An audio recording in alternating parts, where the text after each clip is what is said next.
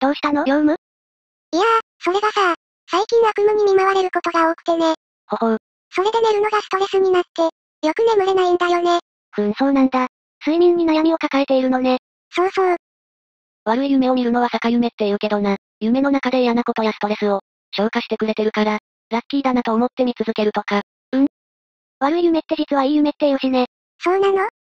それであんたはどんな夢見るの？いやー、本当に悪い夢なんだよ。もったいつけてないで言いなさい。人の夢の話なんて面白くないんだから。違う。それが、通り魔に刺される夢を見るの。通り魔？夜の人里を歩いていると、後ろからぐさっと、思ったより怖かったでも業務なら後ろから刺されるって分かってたら、刀で対抗できそうだけどな。そうなんだよね。でもなぜか体が思うように動かせないの。だから逃げようとしても、水の中みたいに、体がゆっくりとしか動かなくて、ふんそうなんだ。そんなことより喉が渇いたわ。ちょっと話聞いてよ。いや業務、人の夢の話って興味ないもんよ。ひえー。あらじゃあ私の夢の話も聞いてくれるかしら？うん。霊夢の夢なんか想像がつくぞ。どうせ再選が溢れるほど多くなったとか、幻想郷美少女コンテストで金賞を取ったとか、欲望に溢れてるんだろ？それでもいいと思うけど違うわね。霊夢ってもともと空飛べるし、空飛ぶ夢なんか見ないよね？そうね、空飛ぶ夢ってよく見られてるらしいけど、私の場合は特別に感じないから忘れちゃうわね。うん。なあ二人とも、夢占いって知ってるか？夢占い？聞いたことあるけれど、あっまりさってそういうの信じちゃうんだ。面白い。おい、スピリチュアルものを巫女が否定するんじゃないぜ。夢に意味を見出しちゃダメよ。夢は夢だからいいんだから。確かにそうだけど、意外と当たってることも。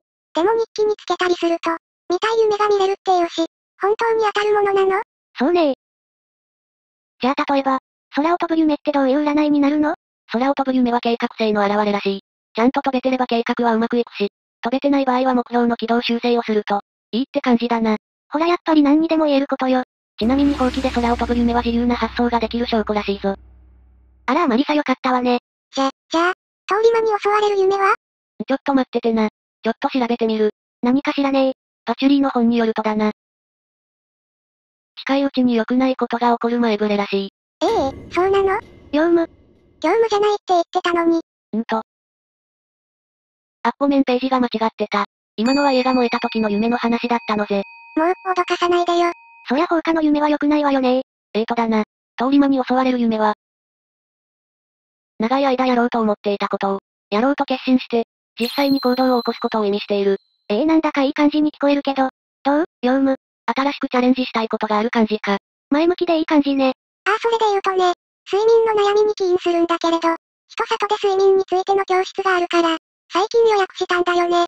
それが新しいことを始めるっていうと、ちょっと違うかもしれないけど、ワイン教室に通うとかじゃないしな。当たらずとも遠からずじゃない？結果が良かったら私たちにも教えてね。うんわかったよ。あっそれとな通り魔に襲われる以外、自分の友達が襲われるとか、逃げるだけとか、自分が襲われるパターンだけがいい夢らしい。そうなんだ。すごい人だな。これだけ人が集まるのは人気なのかな。今日は皆さん睡眠について学んで、理想のスリープライフを送れるようになりましょう。それではテキストを開いてください。バナナの皮を茹でて作るバナナ茶はとても、睡眠に効果的です。この授業眠いなに取り入れていきましょう。録音して寝るときに聞いたらいいかも。ちょっとコンパクさん、寝ないで授業に集中してください。あ、はい。午後の講義は特別講師の方に来ていただいております。皆さん、拍手でもって迎えましょう。拍手で迎えるの？誰だろう？そんなに有名な人なのかな？それではどうぞ。えへ？なんで私が講師なんですかね？め、メイリーだー。すごい、メイリン先生だ。睡眠のスペシャリストのあのメイリン先生だろ？今日はメイリン先生にお越しいただきました。皆さん多くのテクニックを吸収してとこ上手になりましょう。いや違うでしょ。いやー、私が睡眠について語るんですか？適任だよ。あれ、ヨウムさんじゃないですか？え？ヨウムさーん。お、お知り合いですか？恥ずかしい。私から教えられることがあるかわかりませんが、より良い睡眠にはやっぱり日中の運動が大切だと思います。私はコウマ館というところで門番をしてるんですが、日中はずっと立ちっぱなしです。確かにそうだね。きっと太陽の光も浴びることが、重よ。むにゃむにゃ、昨夜さん、私は寝てないですよ。すごい眠りの速さだ。さすがスリープマスター。夢の中でも昨夜さんに怒られてるじゃん。さすがでしたメイリン先生。この後一緒にお食事なんていかがですか？いやー、さすがに仕事に戻らなきゃですよ。よし、今日学んだことを活かして、必ずいい夢見て楽しい睡眠ライフを送るぞ。それからヨウムは、教えをしっかりと実践した。3食バランスの取れた食事。適度な運動。寝る前の電子機器の光を見ない。そして夢を楽しむために、毎日夢日記をつけて、自分の見たい夢をコントロールできるように、努力した。そして、お、おじいちゃん、こんばんは、ヨウム。元気だったか？おじいちゃん。おう、よしよし。大きくなったね。えへへ、今までどこに行ってたの？あにょんなこと起きくな迫力楼に一緒に住んでるじゃないか。ヨウムは修行の末、夢の中でも意識を保てるまでに成長していた。一緒に人里までお団子を食べに行こうか。にょん、そうか、ゆゆこ様以外にもお友達がたくさんできたんだね。今度は死にも会わせてほしいぞ。もちろんだよ。いやー、夢の中といえどおじいちゃんと会えるなんて嬉しいな。じゃあそこの川を渡ろうか。うん。どうしたんだヨウム？